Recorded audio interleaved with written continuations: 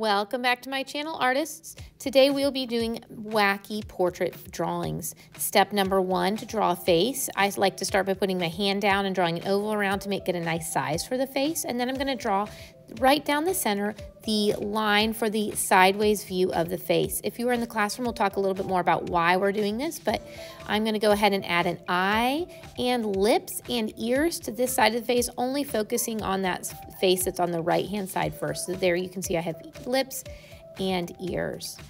For the next step, I'm gonna go to the left-hand side of the face and draw a regular face, trying to make it separate from that right-hand side with eyes, lips, and ears on the left. Now I am ready for step number two to add neck and hair. I wanna make sure again that my two portraits are looking a little different. So for the neck on the right is gonna look different than the neck on the left. I added some wacky lines as well for a pattern in the shirt. And I'm going to draw hair on both the left-hand side and the right-hand side. I am demonstrating what it's like to draw long hair because long hair is usually easier.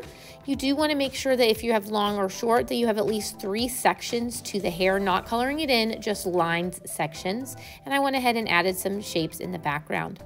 Step number three is going to be to outline with a Sharpie. Because there's going to be a lot of lines on here, I use a very thick Sharpie to outline the most important lines, that being the lines for the face and the lines for the neck and the shoulders. The rest of the portrait you'll see I outline with a regular Sharpie. I do go back at the end of the video and use a thicker Sharpie for the hair. I just felt like it needed it, so that might be something you want to consider as well.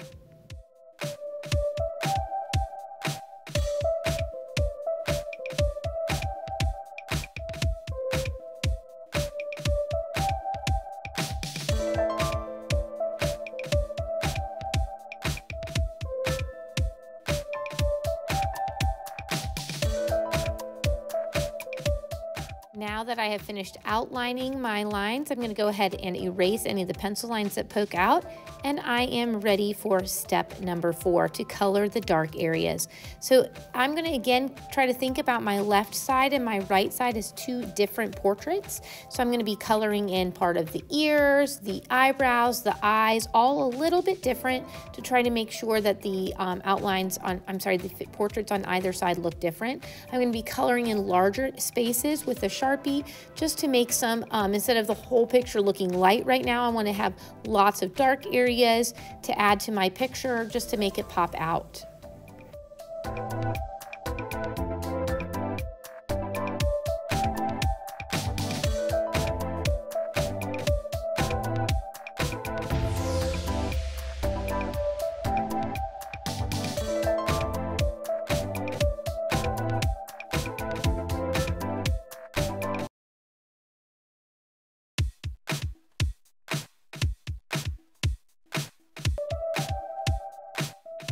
Now that I have finished adding some details and the dark areas in the portrait, I'm gonna go ahead and add some dark areas in the hair.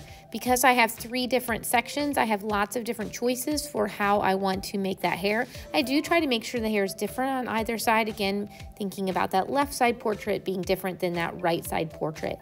So on the right hand side, you can see I've got dark hair right next to the um, ears and then I'm going to just trace um, some lines to make the other parts a little bit um, darker and um, accent that outline there on the hair. And then on the left-hand side, I'm going to pick a different area to color in dark, making sure I have nice, large blocked areas. You'll also notice notice that I'm using a thick Sharpie for this because it's going to be a lot of coloring. And so I thought I probably need a really thick Sharpie for this.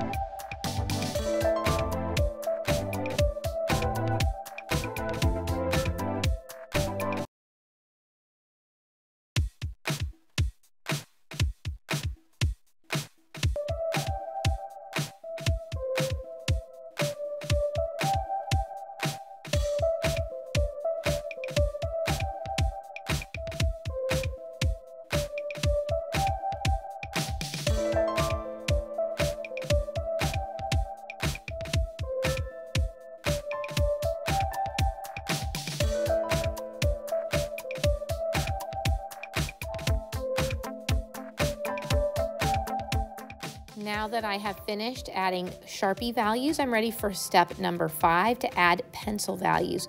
To add those pencil values, um, you want to think about the darkest area. If you're in the classroom, we're going to talk a lot about where light hits and where shadows hit, but wherever your dark area is, you want to press dark with your pencil and then blend it out.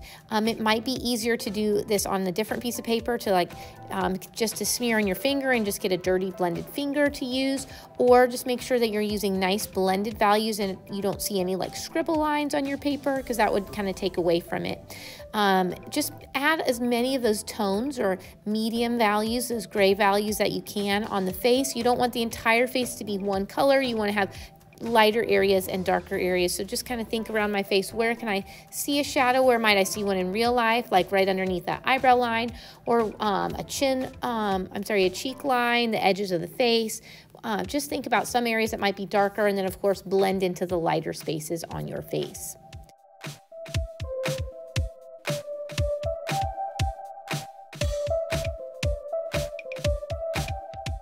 I hope that you have enjoyed making art with us today. What will you create?